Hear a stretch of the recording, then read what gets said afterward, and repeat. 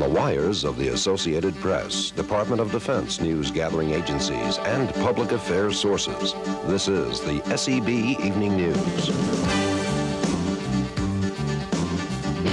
Good evening. I'm Air Force Sergeant Bill Hickman. 37 years ago, the U.S. Army Southern European Task Force, or SETAF, was established to keep Southern Europe safe from the Soviet threat. As Army Sergeant Brady Shoemaker reports, today SETAF celebrated its anniversary and looked towards a future full of change. When the U.S. Army Southern European Task Force began in 1955, 10,000 forces were committed to Italy. Then, SETAF was made up of combat, combat support, and combat service support units. With the drawdown, SETAF now has over 3,000 troops serving in Italy and the Mediterranean. The commander of U.S. Army Southern European Task Force, Major General David J. Baratto, in his speech to SETAF forces said, the task force has been a force for change. The Southern European Task Force has stood the test of time because of its people more than anything else. General Baratto also said the future will bring the biggest challenges to SETAF. Time is one of the greatest tests of quality, in particular an organization. The Southern European Task Force has stood the test of time because of its people more than anything else. General Baratto praised the support of Alpini, civilian employees, and the Carabinieri, as well as the soldiers who've kept alive the future of the largest command south of the Alps. I'm Army Sergeant Brady Shoemaker, SEB News. A commission will convene It's from SEB Vicenza. This year is the five. Welcome to our year-end edition of Uplink. I'm Army Sergeant Dan Valler. This month we're taking a look back at some highlights from the past year. In the February show, we headed for mountain training, airborne style, with SEB Vicenza's Brady Shoemaker. The cold can be a soldier's aid if he grows in it and is nurtured by it. Dealing with combat is one thing the airborne soldier must do, Fighting the elements can be an added burden if he's not ready to deal with the extreme cold, heat, or changing terrain that comes with an environment. While the Italian Army has the Alpini, a soldier trained specifically for mountain combat, U.S. forces are trained in a variety of climates and are not as well equipped to handle operations in cold weather.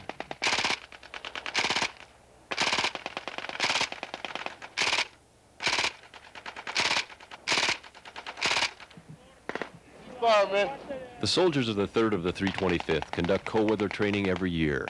In 1992, for two months, airborne combat team members stationed at Vicenza went to the Alpi Carniche Mountains, about 15 miles south of the Austrian border.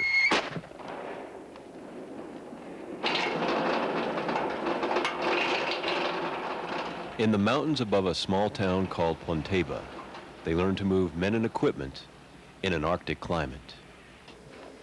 You ready for counterattack? Okay, follow me. They also discovered the problems which arise from offensive and defensive fighting in the snow. The clothing is heavier, the movement is slower, and at times the enemy is less visible than he would be under warmer weather conditions. All these factors contribute to slowing down the soldier in combat operations. There's another difficulty the soldier faces in cold weather, himself.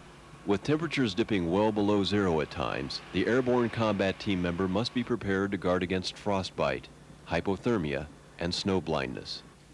The soldiers are taught to deal with these problems in the classroom at Vicenza before they begin their training in the mountains. This is done to ensure that none of these injuries occur during cold weather exercises. Well, it's a chance for the soldiers to get out here and get a good field of view of how to survive out here in the winter environment by digging shelters and staying warm out here and being able to cope with the cold weather by dressing in layers. You know, it's kind of hard to dig a foxhole and get down underneath the ground and to survive. And therefore, you have to bring out the comfort, use the terrain out here as far as uh, branches to lay down on the ground, a foam pad to keep the soldiers warm when they're setting up their individual fighting positions. Cold weather training presents the additional dilemma of moving large pieces of equipment around in the snow. Weapons like the howitzer can be equipped with skis if the need arises and can be moved by the SUSV, or Small Unit Service Vehicle.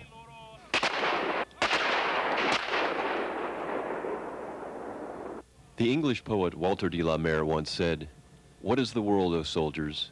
It is I, I, this incessant snow.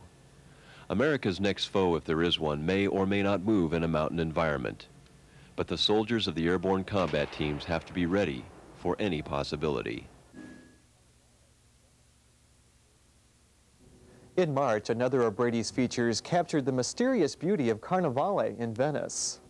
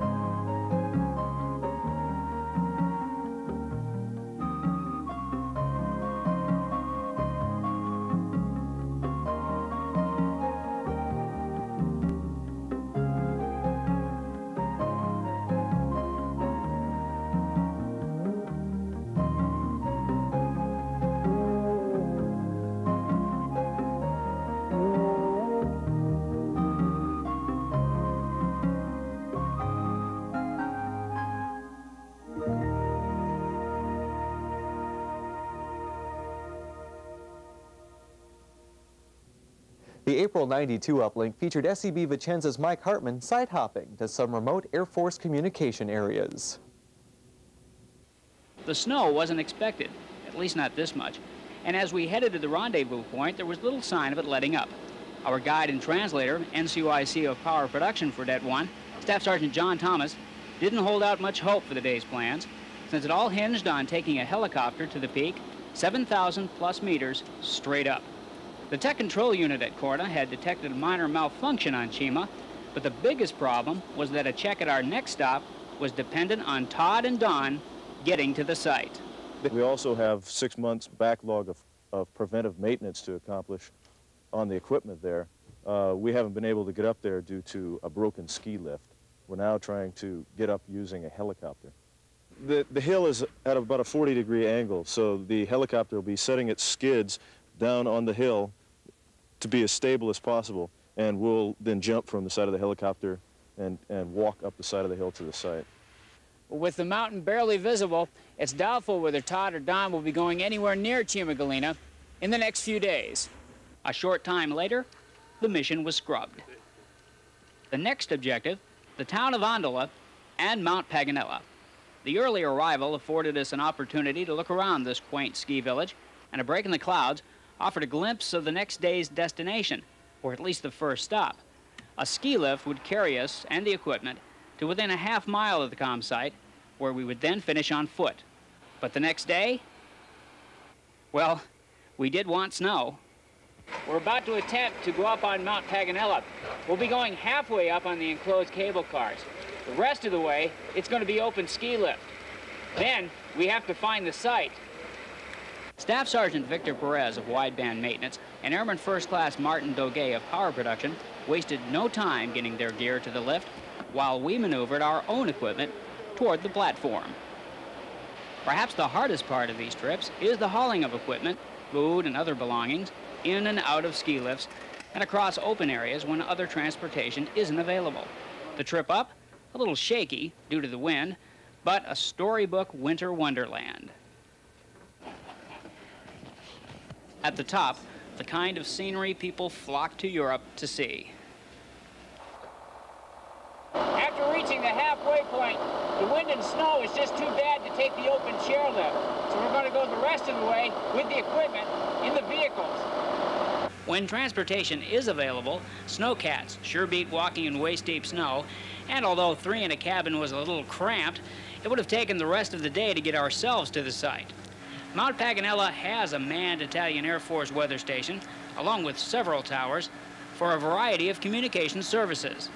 Our site lies on the far side of a land bridge obscured by the snow. A fault step, one way or the other, and SEB is going to be short a camera, hence the motorized escort. How tough could it be when it's this clear? Well, it isn't how clear it is, it's how long it stays clear. In only seconds, a cloud could roll in, and you could easily lose sight of where you're going. Finally, we arrive, and John, Vic, and Martin set right to work unloading the cats so they can get on their way. Once inside, it's like coming home after a long vacation, making sure everything is in working order and getting settled back in. Mount Corna and all the unmanned sites are on commercial power, and a failure would eliminate the radios from transmitting our calls. Since our communication needs are so critical, there are three backup systems to supply power automatically should commercial fail. Two generators, and if necessary, a bank of 24 batteries. Part of this PMI is to ensure that those backups will kick in. We left Vic and Martin to press on with their work. They'll put in long days here and more than a few nights. We headed outdoors to catch our ride back to the lift that would take us down Mount Paganella. That behind us, we turned south to the town of Sestola at the foot of Mount Cimone. And the next morning, another battle with the elements. Uh, today's trip starts here at Penny del Falco, which stands for the Falcon's Nest. As you can see, the scenery's not going to be that great because we're up in a cloud. Hopefully we'll get something up at the site. But this trip had a twist. After leaving the skiers behind, it's a blustery stroll to this building on the final rise of the mountain. For the last leg of this journey, it's a couple of thousand steps, or this mining car, more than 800 meters into and up the final rise of Cimone. At the top, we met Sergeants David Lewick and Ed Walsh, power and wideband radio respectively, as they unloaded the car and checked in. A maze of tunnels and an elevator or two finally get us to the American site where the PMI begins again. Down in the power room, Dave gets right after that second backup generator, since there's a chance we may get it all done in just a few hours. Keep in mind that if equipment breaks down, no matter how big it is, it has to be hauled up here fast or a big link in our communication system just doesn't function. If you can barely see that chapel behind us, it's built by some workers at the very top of Mount Cimone. 28 days a month, personnel from Mount Corna are on the road making these checks in all kinds of conditions. When Det 1 40th Com Group offered us this story, they wanted us to see just how tough a job it is keeping these sites going. And this trip was pretty routine. But it isn't all staying in hotels, wearing civilian clothes, and looking at the scenery. It's an important job making sure your calls go through. For Uplink, Air Force Sergeant Mike Hartman. In May, we turned towards Sicily for a train ride around Mount Etna, courtesy of SEB Sigonella's James McConnell.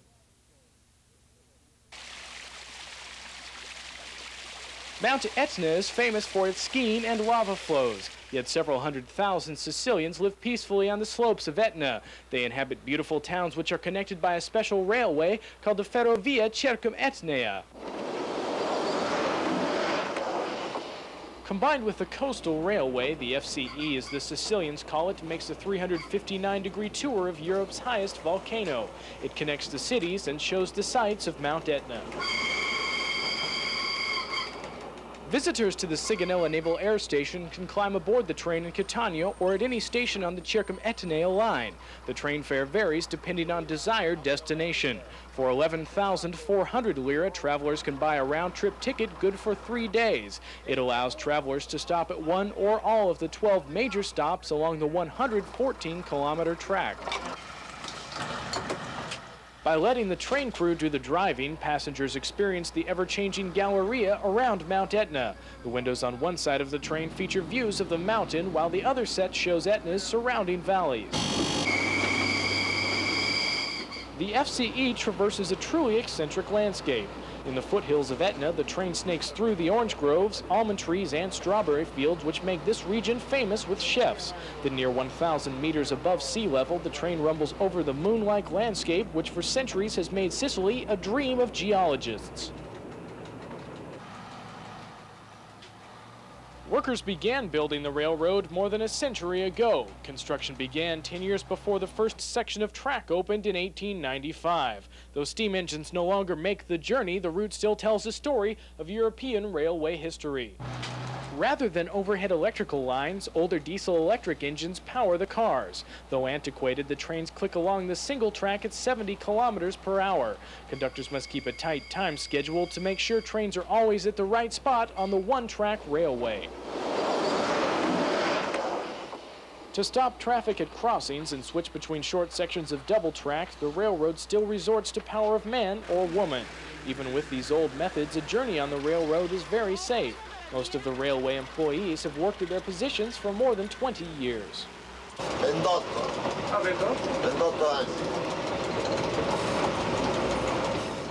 the railway strings together a dozen towns, pearls of Sicilian history. Almost all of the mountain villages are at least a thousand years old. One spot on the rail line, Adrano, was settled by Greeks in the 5th century BC. Within the towns along the railway are four castles and dozens of beautiful churches, and each town has at least one major street which is perfect for shopping.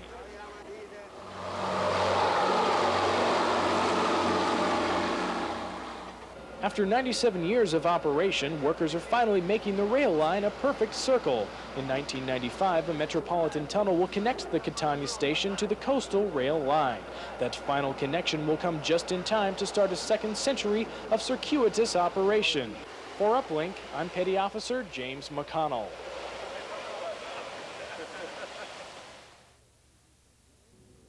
In August, we traveled to the southern Italian town of Lecce, where the ancient art of paper mache was brought to life by SEB San Vito's Gary Piccirillo.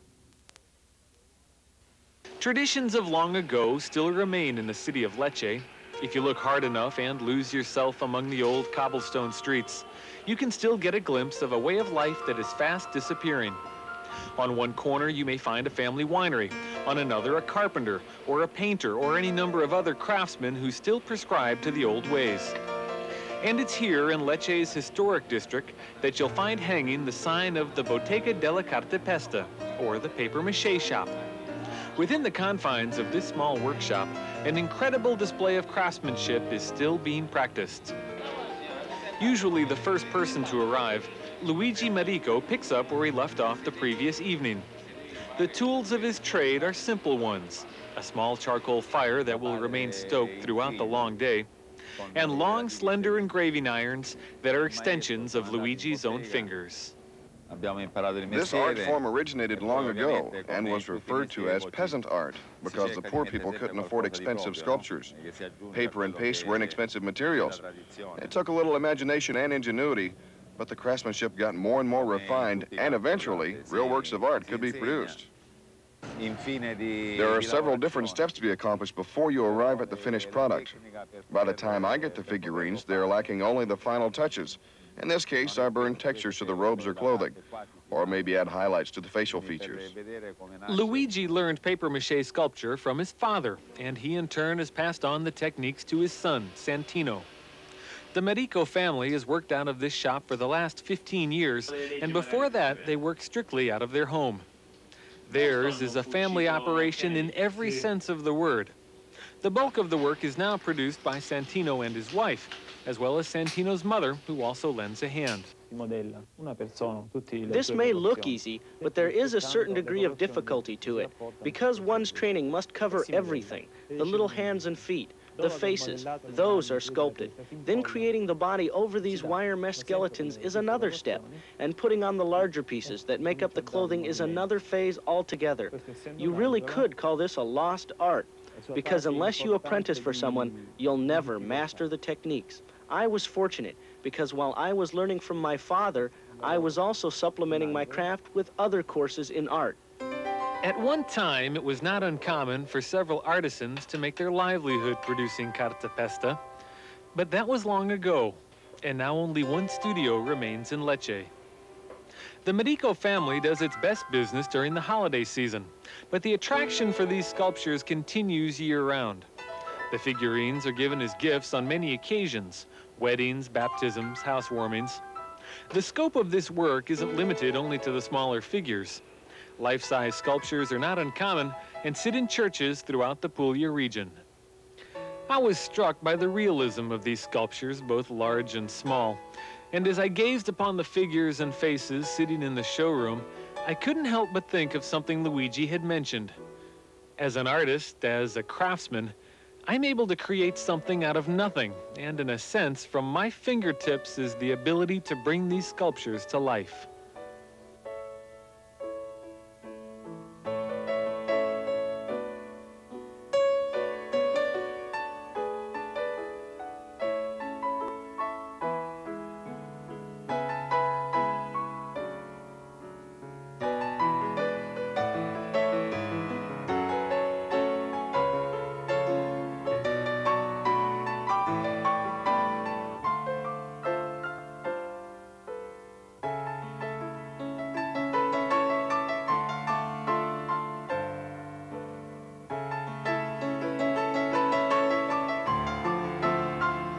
This may well be a dying art form, but within the Bottega della Cartapesta, the Marico family continues to breathe life into these unique works of art.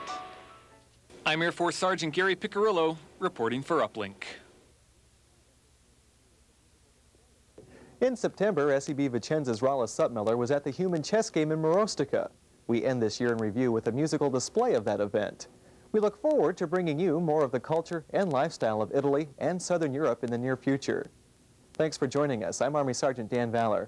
On behalf of everyone at Southern European Broadcasting, have a safe and happy new year.